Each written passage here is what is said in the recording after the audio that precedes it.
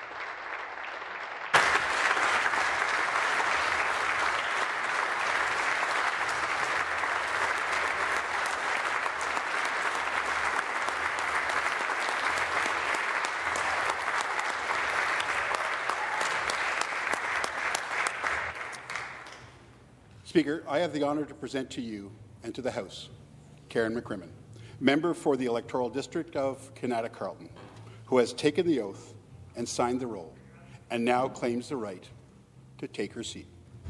Let the honourable member take her seat.